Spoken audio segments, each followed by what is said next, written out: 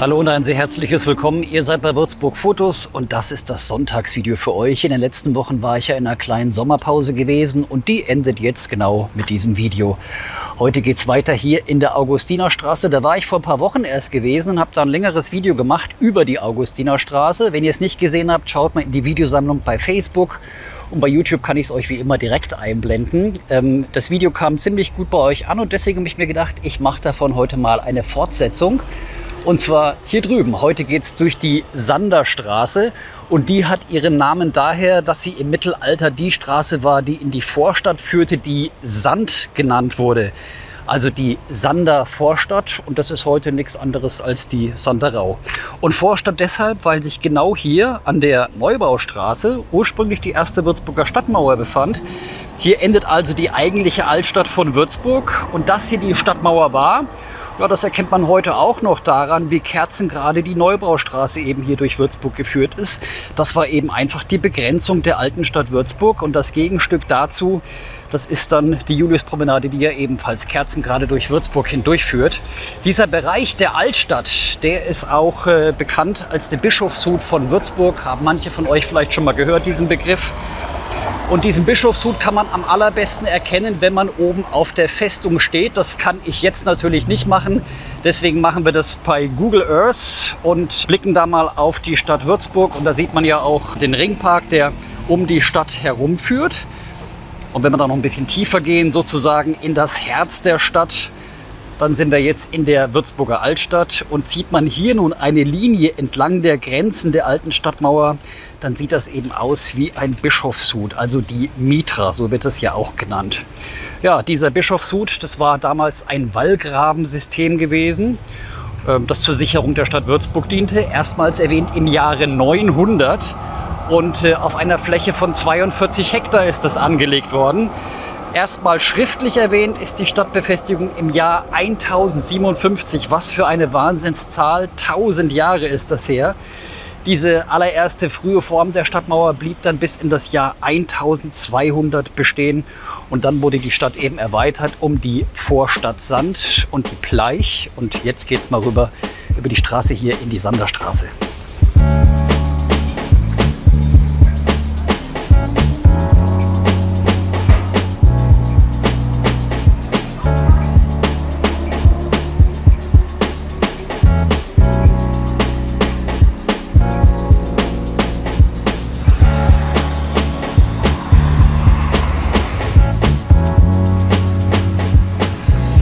Nochmal zu der Vorstadt in Sande, zu der die Sanderstraße führt. Der Name kommt daher, dass unser Fluss, also der Main, zur damaligen Zeit natürlich noch lange nicht befestigt war, so wie das heute der Fall ist. Das war damals ein Fluss, an dessen Ufern bis vor rund 110 Jahren sandige Flussauren waren.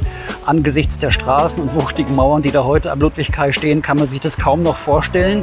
Gut sichtbar wird das aber auf einem Bild, das ungefähr auf Höhe der heutigen S. Oliver Arena und kurz vor der Konrad-Adenauer-Brücke entstanden sein dürfte. Damals im Jahr 1907 gab es dort noch eine Pferdeschwemme, wo man die Tiere zum Säubern und Tränken in den Main führen konnte. Und kurze Zeit später verschwanden dann die sandigen Flussauen, von denen der Stadtteil Sanderau den Namen hat. Und der Main wurde eben befestigt und eine Straße mit Kopfsteinpflaster wurde gebaut, die auch heute noch an dieser Stelle zu sehen ist. Und bei dieser Gelegenheit auch nochmal einen herzlichen Dank an Willi Dürnagel, aus dessen wunderbaren Archiv diese zwei Bilder gerade eben stammten. Seit dem Jahr 1981 gibt es in diesem Gebäude den Till Eulenspiegel oder kurz gesagt einfach den Eulenspiegel. Das ist ein Hotel hier in Würzburg und unten im Keller gibt es eine Bierstube und Weinstube mit so ganz urig eingerichteten Ecken, wo man drin sitzen kann, alles in Holz gebaut.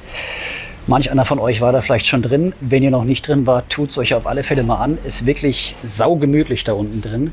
Und da haben wir auch den Till-Eulenspiegel. Da oben steht es geschrieben, Anno Domini 1992, wie Till-Eulenspiegel mit Justitias Hilfe dem wiehernden Amtsschimmel das Lesen beigebracht hat. Sehr schön. Die Sanderstraße befindet sich ja im sogenannten Peterer Viertel. Das ist der Bereich zwischen der Neubaustraße und dem Sandering.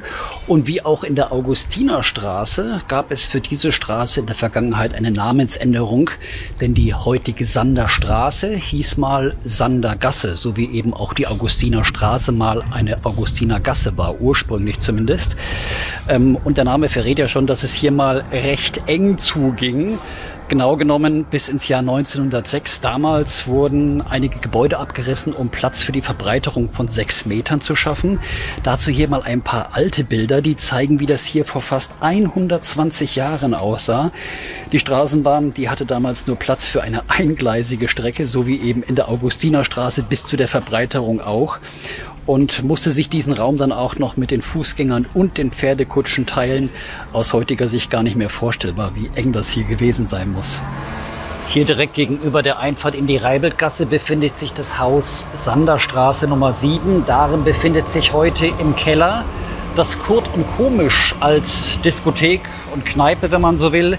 Diskotheken und Kneipen gab es in diesem Gebäude in der Vergangenheit aber schon ganz viele Namen, wie zum Beispiel der Tiffany Club, das Moulin Rouge, Vivas oder das Brasil sind von hier aus in die Partygeschichte der Stadt Würzburg eingegangen.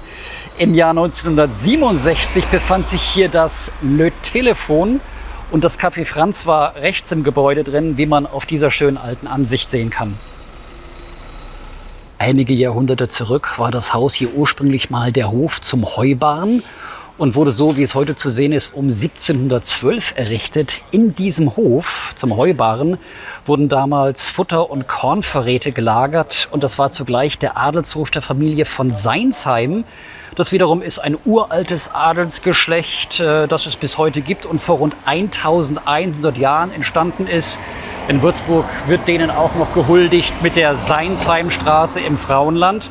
Ja, und die Seinsheims, die übten damals das Zehntrecht aus und lagerten eben hier die Naturalabgaben in diesem Hof ein.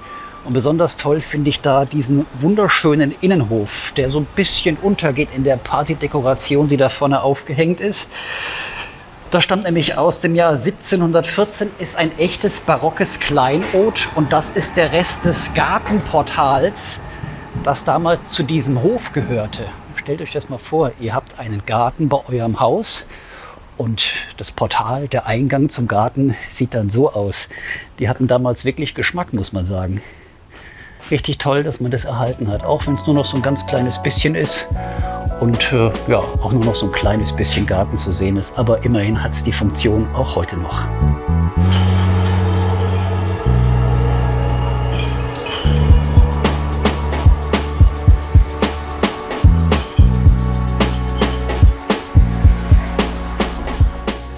Würzburg gibt es ja einige Stellen mit Graffitis. Viele sind einfach nur Schmierereien, aber manchmal sind es echte Kunstwerke. Das hier ist eins, was äh, mir persönlich sehr, sehr gut gefällt. Schade, dass da gerade so ein Zaun davor steht. Ich habe es vor längerer Zeit schon mal fotografiert und kann es euch direkt mal einblenden. Ähm, da kann man sich natürlich drüber streiten, über das Motiv, ob es einem gefällt, aber es ist auf alle Fälle eine tolle, künstlerisch wertvolle Arbeit. Schön, dass es solche bunten Motive in Würzburg gibt.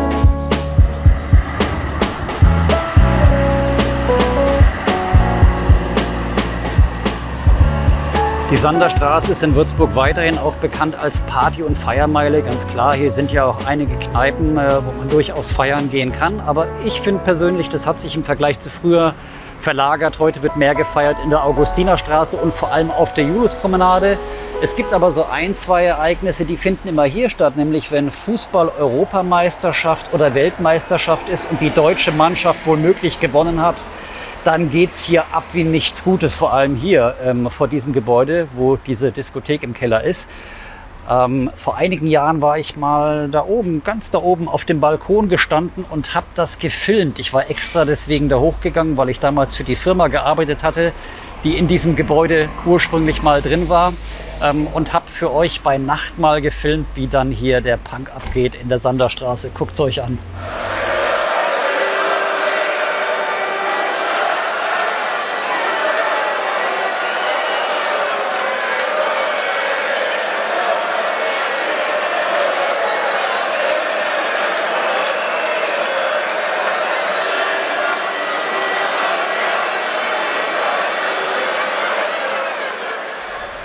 Und auch wenn es natürlich nicht mehr die Sanderstraße, sondern die Elefantengasse ist, mache ich einen ganz, ganz kurzen Abstecher hierher. Nicht, dass jemand sagt, ich habe die wichtigste Pizzeria Deutschlands nicht erwähnt. Muss ich an der Stelle mal tun. Das ist die Blaue Grotte, kennen viele von euch. Und da oben könnt ihr zwei Leute sehen. Auf der linken Seite, das ist Nico Di Camillo. Und der hat 1952 in diesem Gebäude die allererste Pizzeria in Deutschland eröffnet. Die steht nämlich bei uns in Würzburg. Und die Blaue Grotte, die gibt es bis heute noch. Und wenn es um Thema Kneipen in der Sanderstraße geht, äh, will ich unbedingt mal das Charlie auf der anderen Straßenseite hier drüben noch erwähnen. Das gibt es seit 1980, also seit 40 Jahren kann man an dieser Stelle Rock on Classic Rock hören.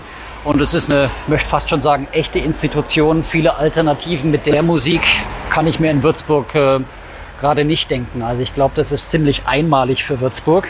Lange Zeit zurück befand sich an dieser Stelle einst der sogenannte Fiskalbeck. Das war eine Bäckerei und eine Weinstube hier in der Sanderstraße mit dem Haus Nummer 8. Und das Haus selber ist im Jahr 1710 ursprünglich errichtet worden und muss ursprünglich mal so ausgesehen haben wie auf dieser Bleistiftzeichnung. Ansonsten sind davon leider keine Bilder da. Ja, und dieser Fiskalbeck, der machte vor 1844 wohl ganz gute Geschäfte, denn nebenan in der Sanderstraße 6, da war das Oberpostamt von Würzburg untergebracht. Dort fuhren in der Woche so rund 200 Kutschen vor mit Post und anderen Dingen. Briefe und andere Sendungen, die mussten damals zum Postamt hier in der Sandergasse gebracht werden. Und wer ein äh, Paket abgewartet hat, ähnlich so wie heute, oder wer eben auf Post im Allgemeinen gewartet hat, der ist nach nebenan ins Fiskalbeck gegangen und hat da auf die Pferdepost gewartet, während er ein Gläschen Wein getrunken hat. Nach dem Wiederaufbau des beim Bombenangriff am 16. März 45 vollständig zerstörten Fiskalbeck ist da ein äh, Restaurant eingezogen. Und zwar, das war das erste Nationalitätenrestaurant nach dem Krieg hier in Würzburg und das nannte sich damals der Pushta Grill. Direkt hier von der Sanderstraße zweigt die Korngasse ab. Auch eine wichtige Straße in Würzburg. Den Namen Korngasse hat sie daher, weil da ursprünglich der Kornspeicher der Stadt Würzburg war. Das aber nur mal nebenbei bemerkt. Direkt an der Korngasse, da ist die Karmeliterkirche in Würzburg auch bekannt als Reuerer Kirche und äh, das ist die älteste Barockkirche in ganz Franken. Die Kirche wurde nach den Plänen von Antonio Petrini im barocken Stil der einstigen Sander Vorstadt gebaut ja, und Antonio Petrini, finde ich, kann man auch erkennen. Vielleicht erinnert ihr euch noch an mein Video, das ich vor einigen Wochen aus Kitzingen gemacht habe. Die dortige evangelische Kirche, die ursprünglich auch mal eine katholische war, sieht der hier ziemlich ähnlich. Und da kann man, finde ich, Antonio Petrini und den Barockstil ganz gut erkennen. Grundsteinlegung für die Kirche war am 19. März des Jahres 1662. Im Krieg ist sie, wie so vieles in Würzburg, vollständig zerstört, aber dann nach dem Krieg zum Glück Stück für Stück wieder aufgebaut worden. Und jetzt gucken wir mal in die Kirche rein, wie sie von drin aussieht. Die ist nämlich eigentlich ganz hübsch.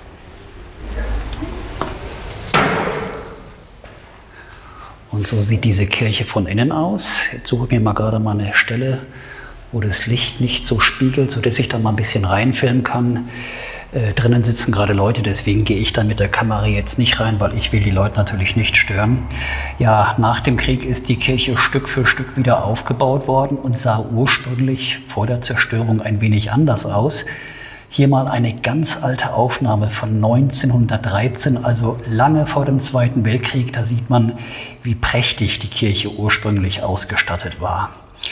Und äh, hier auf der rechten Seite, da kann man ein Kerzenopfer für die Gottesmutter machen.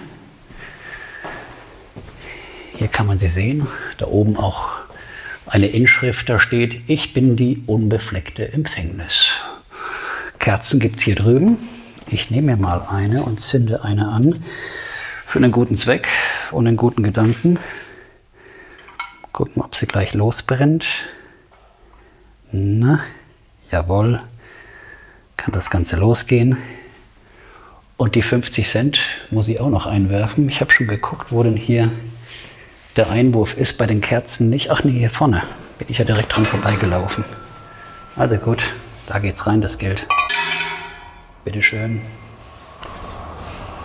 Wenn man die Sanderstraße so runterschaut, dann sieht man, dass da viele Gebäude nach dem Krieg erbaut worden sind. Ganz klassische Nachkriegsbauten in der Architektur der 50er und 60er Jahre. Wenige historische Gebäude haben sich erhalten, wie ganz da vorne der Hof zum Heubarren oder eben die Karmelitenkirche. Und hier auf der anderen Straßenseite ist auch noch ein historisches Gebäude, nämlich der Hof zum Kratzauge so nennt sich der. Und da befindet sich ein Wappen über der Hofeinfahrt. Und das ist das Gutenbergische Wappen. Das Gebäude ähm, stammt aus dem Jahr 1681. So sieht also das Gutenbergische Wappen aus. Ja, und die Gutenbergs, die kommen ja aus Franken. Unser ehemaliger Verteidigungsminister war ja auch ein von und zu Gutenberg. In Würzburg haben wir den Gutenberger Forst bzw. Reichenberg. Also die hatten immer schon hier bei uns in der Region auch zu tun die Gutenbergs und sind mit Franken ja sowieso verbunden.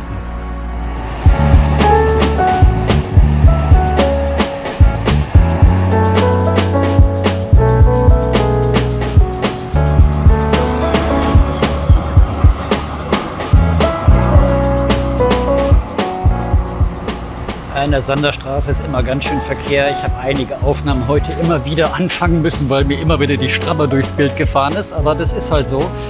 Die Sanderstraße ist eine der am stärksten befahrenen Straßenbahnabschnitte in Würzburg.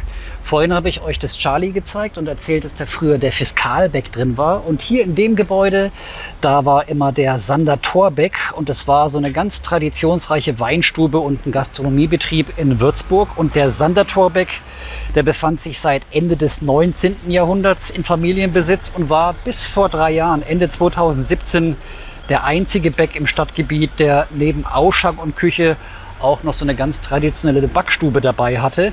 Der Inhaber, der hatte großen Wert drauf gelegt, auf die Tradition und deswegen konnte man in Sander Torbeck, wie schon in früheren Zeiten, eine eigene Brotzeit mitbringen und dann äh, bei einem leckeren Shoppen verzehren. Aber Sander Torbeck gibt es heute nicht mehr. Heute ist es das Achtele, wie ihr sehen könnt. Und eine Bäckerei ist nebendran die Bäckerei Gerhold, bei der man leckere Sachen bekommt. Da bin ich schon öfter gewesen. Tja, und schon bin ich durch die Sanderstraße hindurch, aber ich glaube, da habe ich euch heute doch einiges an Informationen mitgeben können und auch ein paar schöne alte Bilder gezeigt. Und zum Abschluss des Videos gehe ich jetzt mal hier die Tiepolo-Straße rauf. Da vorne schaut man schön auf die Festung und den Main. Und ich glaube, das ist für Schlussbild gar nicht so schlecht.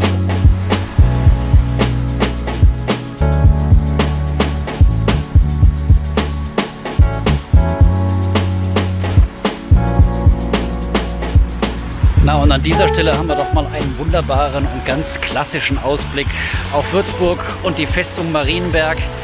Ein Ort, der mir sehr gut gefällt, vor allem zum Fotografieren war ich schon ganz, ganz oft hier gewesen. An dieser Stelle endet das erste Sonntagsvideo nach der Sommerpause und wie in der Vergangenheit auch freue ich mich sehr, wenn es euch gefallen hat. Und noch viel, viel mehr, wenn ihr mir das zeigt, mit vielen Likes und mit vielen Daumen nach oben in Facebook und in YouTube natürlich.